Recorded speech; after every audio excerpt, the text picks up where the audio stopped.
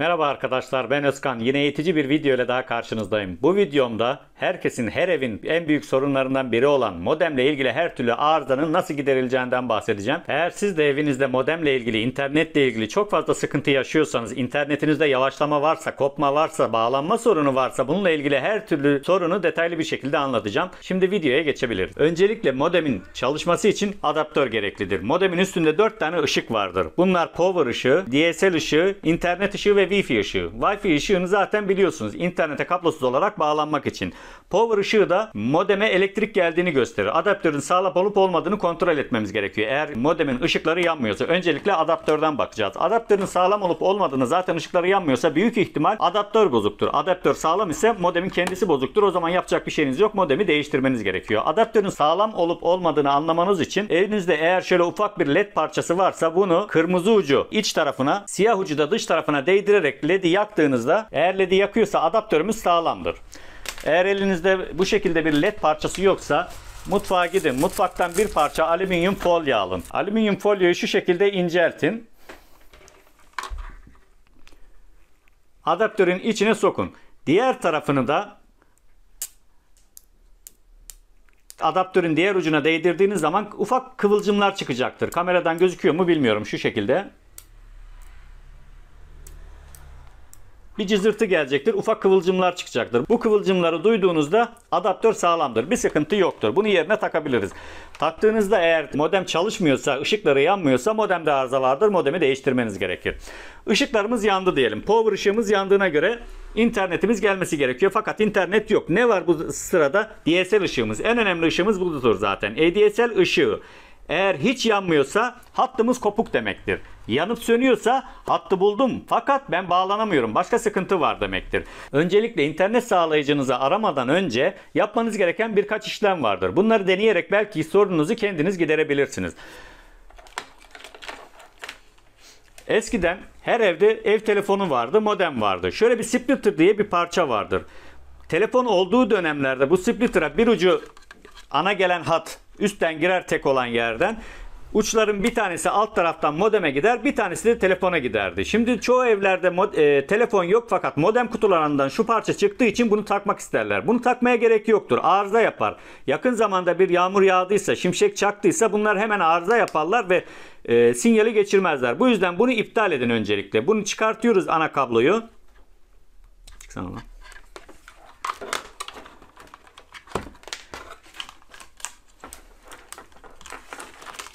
Bu splitter'ı iptal edeceğiz. Ana gelen internet hattını modeme direkt bağlayacağız. Yaklaşık bir dakika kadar bekleyeceğiz ve DSL ışığına bakalım. Eğer sabitlenir yanarsa internetimiz gelmiştir. Gelmezse farklı sorunlar vardır. Bu sorunların e, birisi de nedir? Örneğin taktık bir dakika bekledik DSL ışığımız sabitlenmedi internet ışığı yanmadı. Nedir? Şurada bakın gördüğünüz gibi bunun ucunda bir soket çakılıdır. Bu sokette arıza oluyor bazen. Burada oynandığı zaman filan ee, burada bir çıkma oluyor, kopma oluyor, temassızlık oluyor. Bu zaten ara sıra temas ettiği zaman da bu sokette temassızlık varsa bunu iyileştirmemiz gerekiyor. Ne gerekiyor? Normalde bunun ucuna yeni bir e, şöyle soket çakabilmeniz için e, şöyle bir alete ihtiyacınız vardır. RC45 pensesi diye geçer bunlar. 80 lira 100 lira arasında satılmaktadır. Fakat bunu almanıza gerek yoktur. Bu olan yeri, kopan yeri hangi kabloların takılı olduğuna da bakalım ki bağlantı aşamasında bize lazım olacak. Kopan yeri öncelikle bir keselim. Ucunu biraz geniş açıyoruz bir pense yardımıyla.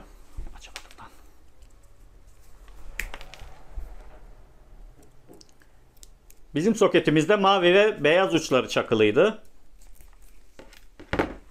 Bu uçları açıyoruz. Üzerindeki bakırı Tırnağımızla soymak her zaman daha uygundur. Neden uygundur? Yan keski ve penseyle burayı tutup soymaya çalıştığınız zaman ufak bir iz dahi olsa bunu bükerken iki kabloyu birbirine bağlarken oradan kopar. Fark etmezsiniz tekrar temassızlık yaşar. Ya tırnağınızla soyarak açın. Eğer tırnağınızın gücü yetmiyorsa bir çakmak yardımıyla şöyle ısıtarak çok kolay bir şekilde açılacaktır burası. Burayı açtıktan sonra elinizde eğer şu şekilde 2 metrelik kısa bir kablo varsa bunun ucunu keseceğiz. Eğer yoksa da elektrikçiden alın. Bu 3 lira civarındadır. 2 metrelik. Daha kısası bulursanız daha kısası da işinizi görecektir. Buradan kesiyoruz bunu. Soketi kendiniz çakamayacağınız için ben bu şekilde size tarif ediyorum. Hemen ucunu açıyoruz. Yine bir çakmak yardımıyla uçları az bir şey ısıtıp bunları çıkartıyoruz. Uçlarını bu şekilde çıkartıp biraz önce uçlarını hazırladığımız ana gelen internet kablosunun uçlarına bağlıyoruz. Gördüğünüz gibi şöyle biraz kıvırıyoruz üstünü. Daha sonra büküyoruz kablo yerinden çıkmasın diye. Diğerini de aynı şekilde yapıyoruz. Zaten internet kablolarında iki tane kablo vardır. Bunları güzelce birbirine takıyoruz.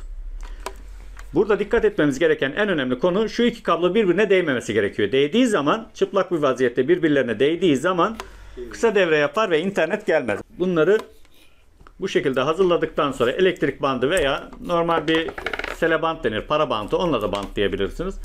Şu şekilde bantlayalım. Birbirlerine temas etmesinler. Bantladıktan sonra bunu yerine takalım. Eğer şu ucunda sıkıntı var ve bu yüzden internetinizde yavaşlama var ise bu sorun ortadan kalkacaktır. Taktığımız zaman internetimizde büyük ihtimal gelecektir. Farz edelim internetimiz gelmedi. Bu işlemleri buraya kadar sırasıyla yaptık ama internetimiz gelmedi.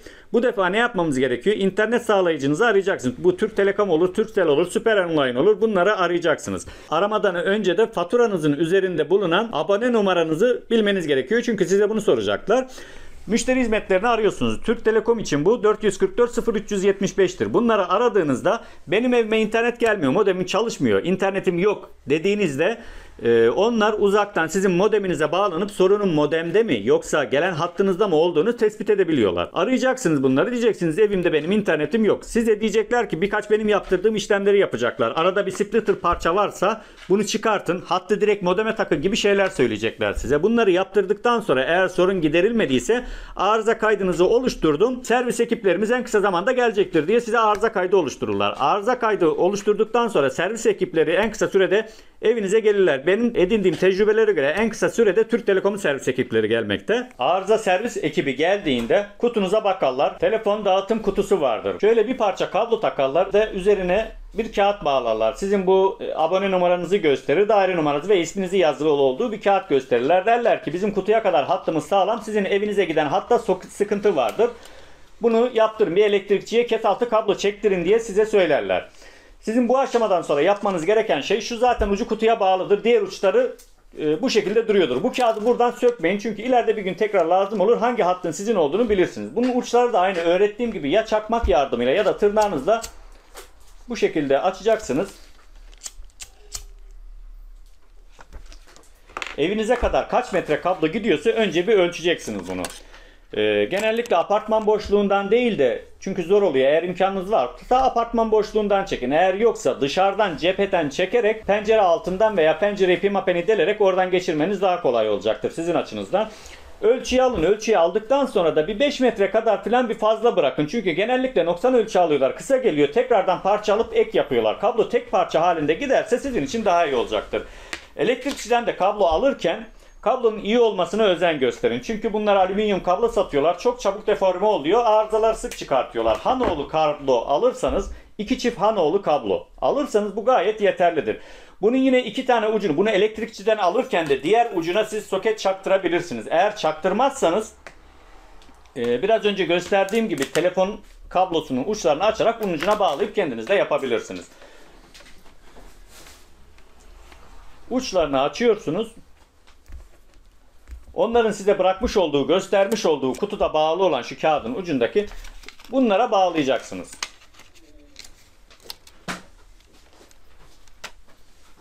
Bağlarken de güzel sıkı olsun, gevşek kalmasınlar. Bunda elektrik yoktur bu kablolarda bu arada. Hiçbir şekilde korkmanıza gerek yoktur bunlarda. Sıkı bir şekilde bağlayın. Eğer temassızlık olursa internette yine koplama, kopmalar olur.